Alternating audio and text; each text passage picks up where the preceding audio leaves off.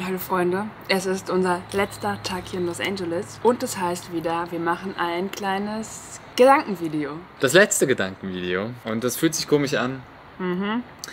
Aber es ist schön, den letzten Tag so entspannt zu haben. Wir machen heute nichts, wir, wir sind heute so ein bisschen hier am Pool und relaxen noch ein bisschen, bevor es dann morgen zurückgeht. Und wir wollen noch mal ein bisschen über, über LA nachdenken und mit euch teilen, was uns so aufgefallen ist, was wir schön fanden, was nicht. Wir wollen über die Studiotouren reden, wir wollen über die öffentlichen Verkehrsmittel reden, über Freizeitpark. Freizeitpark, genau, Universal Studios und noch vieles mehr. Aber das sind drei Dinge, die wir ansprechen wollen. Ich würde sagen, wir fangen direkt an. Wir sind angekommen in Long Beach mit dem Mietwagen, haben den da abgestellt und mussten dann erstmal 58 Kilometer hier zur Unterkunft fahren. Und das war immer noch Metropolregion Los Angeles. Und daran sieht man, wie weitläufig das hier ist. Das, das begleitet einen eben immer, wenn man in Los Angeles ist, weil man braucht für alles sehr, sehr lange. Man kann sich hier nicht drei, vier Dinge vornehmen, die irgendwie zu weit auseinander sind. Man schafft es einfach nicht, weil egal ob U-Bahn oder Auto, du brauchst sehr lange hier dafür.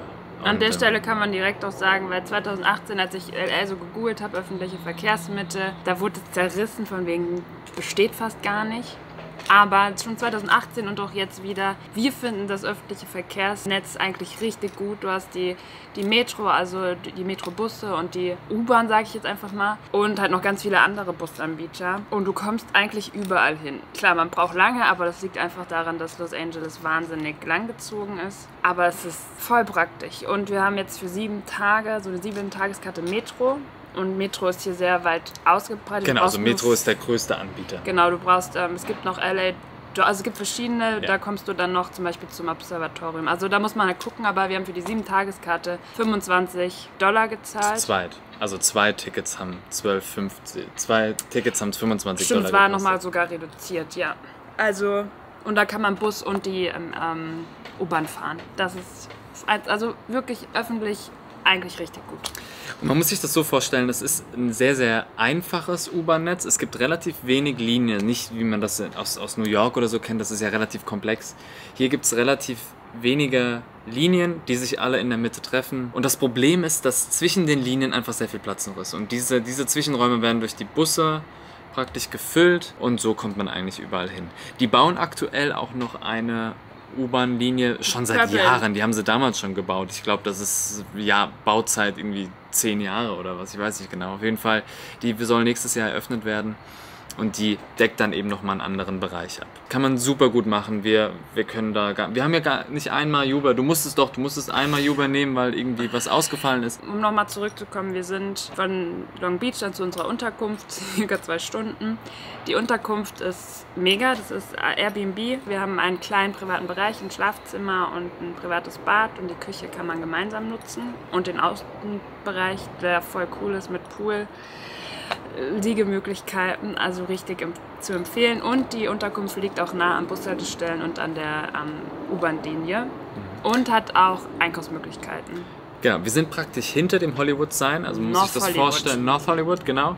Das ist so das, das Valley, das ist hinter, der, hinter dieser kleinen äh, Hügelkette, wo dann das Hollywood Sign ist.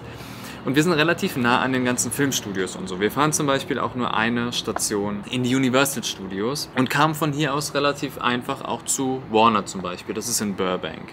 Genau. Also wer das viel vorhat, wer irgendwie wegen dem ganzen Filmding hier ist, für den lohnt sich in North Hollywood zu sein oder eben in Burbank selbst. Auf jeden Fall. Kann man da schon mal so ein bisschen gucken, dass man da nicht allzu lange immer zu den, zu den Stellen fahren muss, die einen interessieren. Also was, das muss man wirklich sagen, das Coole an Los Angeles ist einfach dieses, die stehen einfach auf Film. Du siehst hier überall Werbung für sämtliche Filme.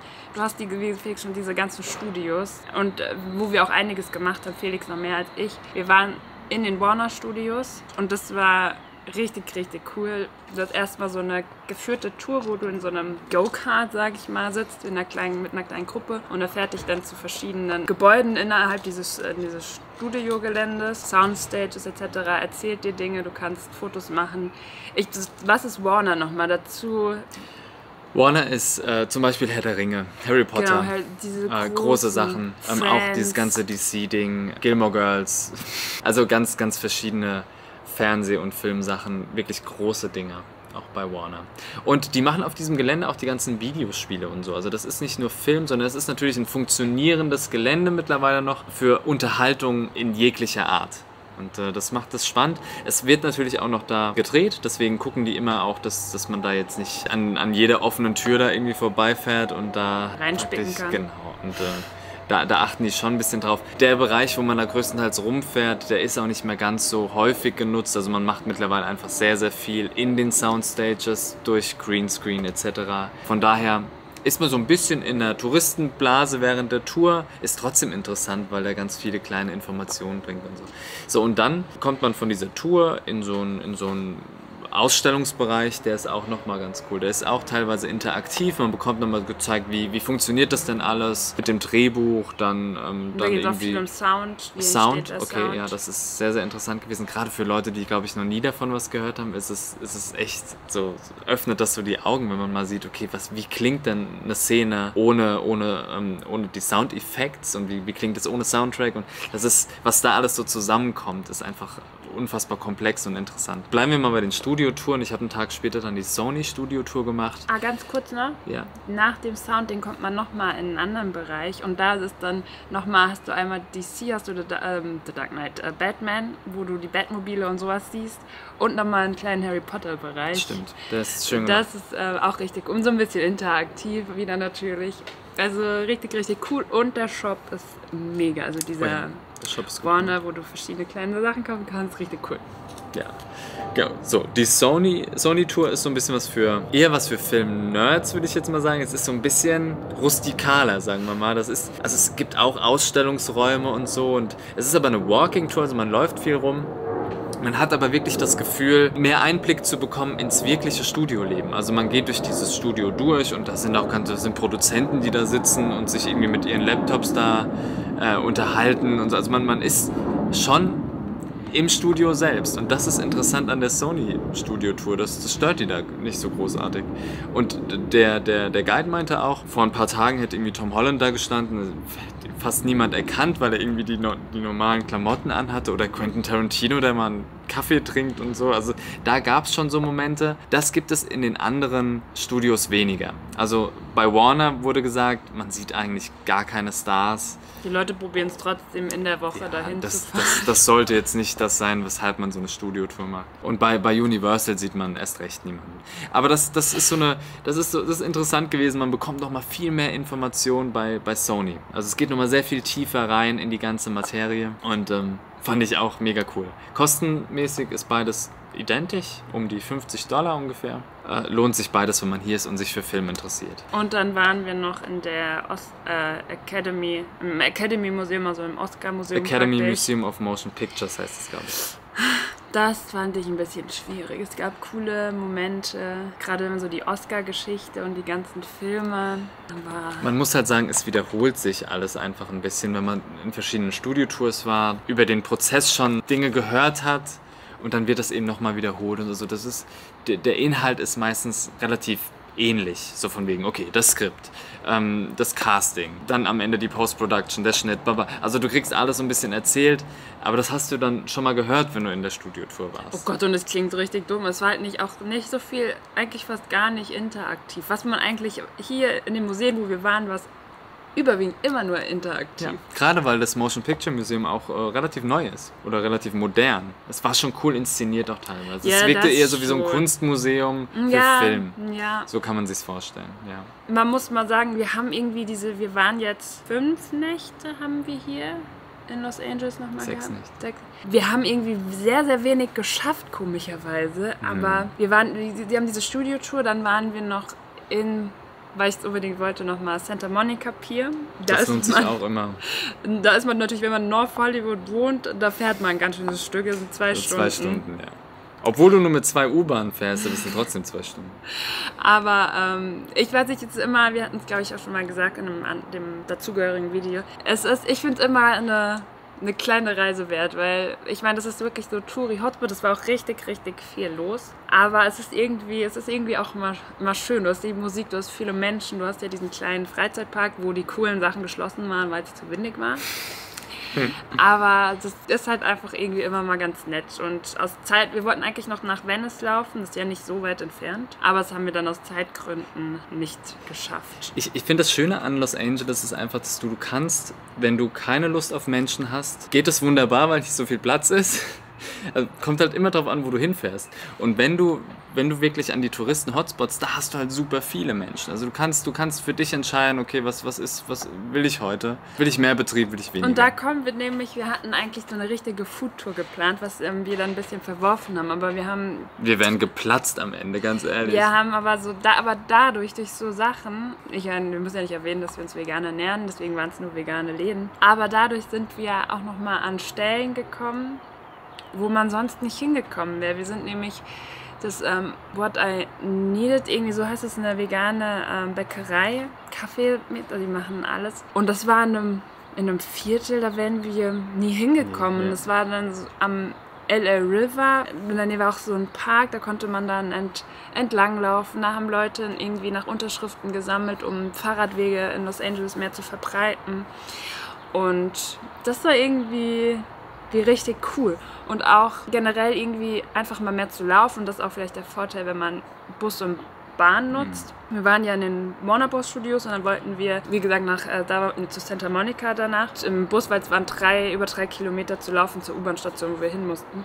Wir wollten echt den Bus nehmen, aber der hätte noch der nächste wäre erst in einer Stunde gekommen und dann haben wir gedacht, okay, wir laufen. Dann sind wir durch Burbank, durch, durch Burbank Toluca und Toluca Lake. Und Toluca Lake ist so, also da, wo wir waren, es war so cool, so ein schönes Viertel mit süßen Geschäften und es sah alles so einfach richtig schön aus, so sehr gepflegt. Und es ist natürlich wie immer so, so kleine Scheinwelten von ähm, schön zu hässlich geht es hier relativ schnell. Du denkst, du bist in einem reichen Viertel oder einem gut, gut betuchten Viertel und dann bist du eine Straße weiter, eine Seitenstraße weiter und du denkst dir wieder, du bist mitten irgendwie in so einem Hauptbahnhof mäßig. Mhm.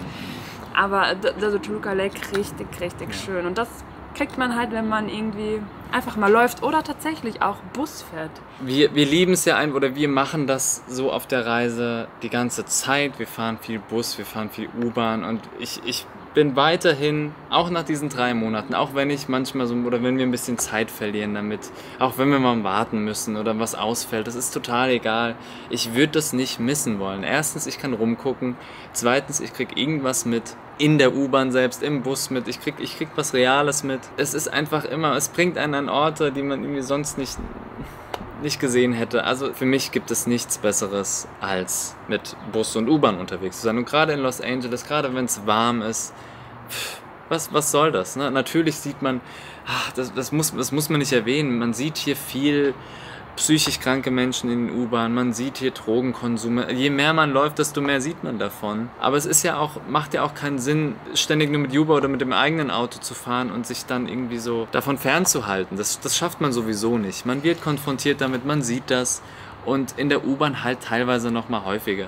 Wir sind einmal gefahren, ähm, da war auf einer Fahrt war irgendwie alles dabei. Also da, da halt kam einer mit der Gitarre rein, hat da geklimpert, hat vorher seinen Song irgendwie aufgenommen, das der nur aus Schimpfwörtern Schimpfwörter. bestand und es klang einfach extrem. Weil es auch so geflüstert hat, also ganz ja, dry. Ja, ja. Und dann ähm, einer saß mal vor uns ganz nah an uns und hat so seine Chips gegessen, geschmatzt dabei, hat dann ständig gehustet und hat ständig mit uns reden wollen irgendwie. Also man, man, man bekommt so, man das hat so halt, Erfahrung. Das ist halt irgendwie ein Teil von Amerika, klingt jetzt ja. irgendwie so krass, aber das gehört halt nun mal dazu. Sollte nicht dazugehören, aber Armut ist überall. Mhm. Was hier halt auch wirklich sind diese, diese Zelt, also ich habe noch nie so häufig diese wirklich diese Zeltstätte, nennt man das so, oder mhm. Zeltlager ähm, gesehen, auch einfach an so komischen Stellen irgendwie richtig krass. Und dann läufst du da jeden Tag, oder zum Beispiel, wenn wir zum Supermarkt laufen, von unserer Unterkunft, wir, das ist immer dieselbe Strecke und da hat einfach ein Mann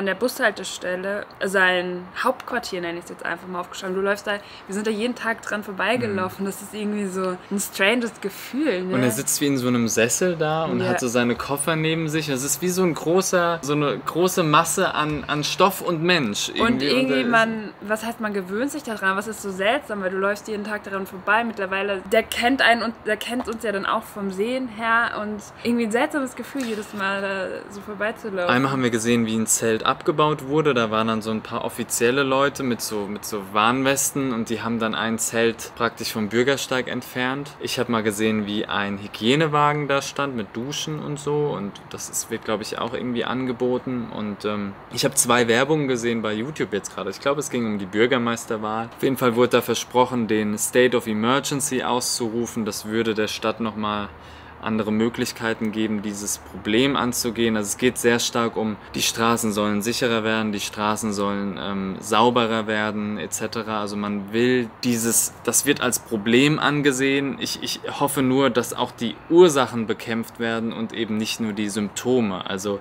ich habe manchmal das Gefühl, es, es soll halt wieder vorzeigbarer werden hier. Und ähm, dafür müsste aber viel passieren, dafür muss viel Wohnraum geschaffen werden. Das ist, denke ich, Punkt 1. Und die Sozialleistungen müssen verbessert werden für diese Menschen.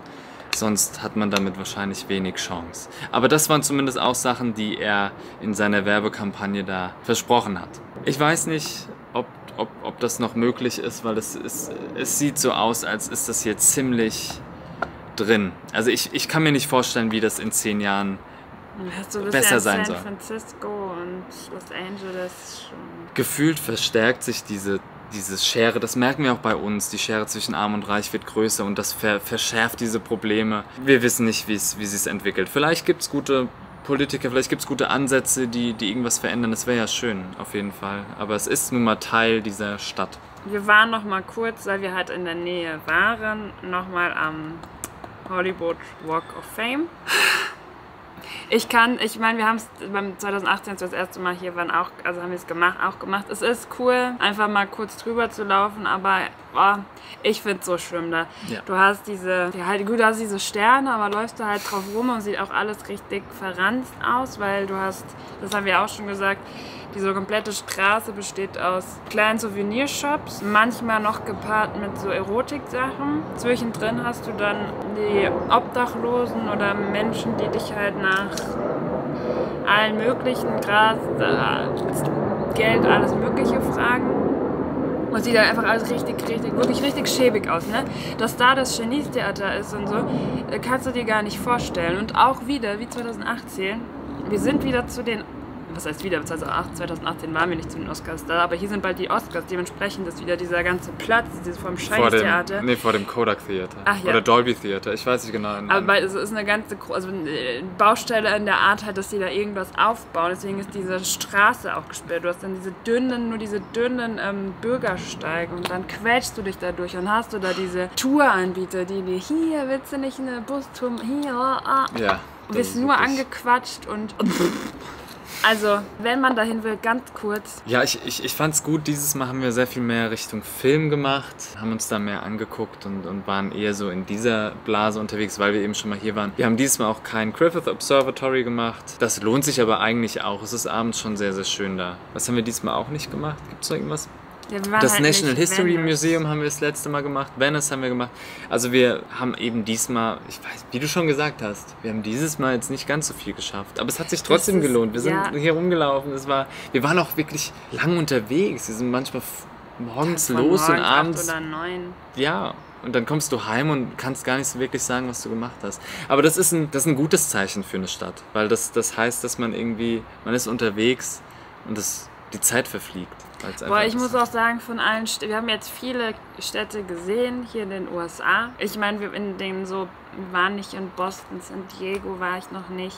Ach, es gibt noch genug andere Städte, aber bis jetzt ist ich, Los Angeles ist irgendwie einer meiner Lieblingsstädte. Ich kann, ich hatte schon mal das, wir haben uns schon mal unterhalten, ich kann das gar nicht beschreiben, wieso, aber ich mag, ich mag erstens die Lage, diese Lage zum Meer, dann das das Wetter, dass du, wenn du Dezember, Januar irgendwie, dass du trotzdem schönes Wetter hast, also eine angenehme Wärme zu müssen, um wirklich so eine Stadterkundungstour zu machen. Es ist nicht zu heiß, es ist nicht zu kalt.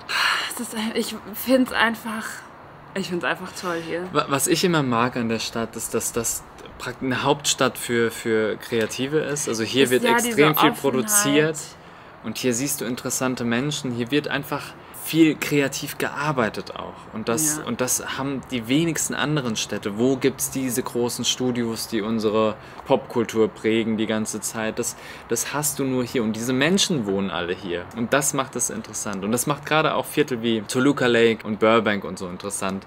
Weil viele Filmschaffende, viele Kreative leben eben relativ nah an den Studios. Damit der Weg nicht ganz so weit ist, macht ja auch Sinn. Und ähm, das, das spürt man einfach in Los Angeles und das ist irgendwie schön. Und man muss auch sagen, jetzt für Veganer, Los Angeles ist auch so krass, was das also es angeht. Es hat so viele Optionen. Einfach richtig. Ich, ich fühle mich hier einfach wohl. Also, nee, in der U-Bahn fühle ich mich echt nicht immer wohl. Also, es ist teilweise, ich, boah, das schaudert mich. Aber so prinzipiell vom Flair, Strand, du hast die Filme, du hast das Wetter. Die Leute sind, gut, das hast du ganz oft in Amerika, aber irgendwie unfassbar nett.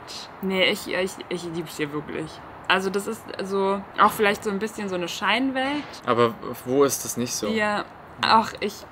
Ah, und dann hast du natürlich unser vorletzter Tag gestern, die Universal Studios. Das war ja so, Felix hat mir das jetzt zum Geburtstag geschenkt. Ein Highlight, weil das war wirklich ein Tag. Das war wirklich wie so eine Scheinwelt. Du hast dir keine Gedanken gemacht, du warst einfach permanent glücklich oder wir waren permanent glücklich, weil der Park ist so, ist so so, gemacht. so toll. Die Leute sind cool. Das ist alles irgendwie unkompliziert. Es- man wartet nicht so lange. Wir, das Video dazu kommt ja noch raus, aber es ist einfach, er ist so komprimiert, es ist nicht viel, du schaffst alles an einem Tag. Obwohl wirklich, ich glaube, es war wirklich gut besucht. Ich weiß nicht, wie es vielleicht zum Sommer nochmal ist, keine Ahnung. Aber die Wartezeiten sind voll legitim. Du hast diese zwei Level, du hast das eine Level unten, also du kannst das so nacheinander machen, kannst sagen, okay, wir machen jetzt erst den Bereich und dann gehen wir hoch und dann machen wir zwischendrin die Studiotour, wir machen da die Show und wir haben wirklich alles geschafft, was wir wollten, bis auf Pets. Ja, waren einfach total zufrieden und das ist das, was, was ja eigentlich so sein So soll. Wenn man so einen Park machen soll. wenn man am Ende sagt, wow, das war einfach eine coole, ein, guter Realitätsverlust, irgendwie so eine coole virtuelle Welt, in der man da war, einen Tag lang. Wow, dann hat der Park seinen Zweck erfüllt. Ja, also, ach, Hat Spaß gemacht. Ja, es sind wirklich. Wir können es jetzt nicht mit Disney hier in Anaheim vergleichen. Das ist ja auch ein, ein komprimierter Disney-Park sozusagen. Die größeren Sachen in Orlando sind ja bei Universal und bei Disney immer in mehrere Parks aufgeteilt. Aber ich mag das hier einfach. Ich will da einen Tag verbringen, ich will alles machen können. Und ich will einfach dann abends zufrieden sein und ich will nicht dann tagelang in Freizeitparks Und man verbringen. muss auch sagen, die, ach, das sagen wir auch in dem Video, aber dieses, wenn man nochmal irgendwie Disney im Vergleich nimmt, du hast an manchen Attraktionen im Universal, du hast diese, äh, diese Lockersysteme, wo du es zwei Stunden lang kostenlos mieten kannst, du kannst deinen Bums da reinschmeißen und dann zur Attraktion schnell gehen. Das ist ein geiles System. Das stimmt. So, und das ist ein guter Abschluss für Los Angeles. Wir machen ein, ein großes abschließendes Video oder zumindest plane ich das und, und wir werden es auch machen, wenn wir dann zu Hause sind. Da nochmal so ein paar, paar allgemeinere Gedanken zu, zu so einer langen Reise auch. Dann blende ich auch immer mal Szenen ein und so von. von Man muss doch sagen, wir werden ganz oft gefragt, oh, wie sich's. Unser Haustier meinte solche, oh, ihr werdet bestimmt richtig froh sein, in eurem eigenen Bett zu schlafen. Und ähm, wir haben es schon jetzt irgendwie ganz oft gesagt, dieses typische, wir freuen uns irgendwie auf unsere Routinen, auf doch auch mal Familie und Freunde wiederzusehen. auf, auf eigene Bereiche auch wieder. Genau. Aber natürlich, es ist zu Hause, es ist, bedeutet halt auch wieder Alltag. Alltag muss nicht unbedingt schlecht sein, aber es ist doch irgendwie, es ist einfach erfrischend und man bleibt, man bleibt wirklich, wie, wie sagt Andreas Altmann immer, weltoffen, wenn man so viele verschiedene Dinge auf sich nehmen kann, ähm, Situationen, Erfahrungen und die Vorstellung, dass ähm, das das letzte Mal sein soll, das, ist- das wäre das ist, wär sau doof einfach, ne? Die, die Vorstellung gibt es überhaupt Ja. nicht. Also für mich nicht. Gut, damit LA.